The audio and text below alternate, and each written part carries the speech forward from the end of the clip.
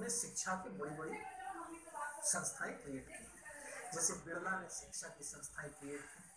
Birla institute of Pilani आप सब लोग आज की तारीख में साठ, सत्तर साल पुराना।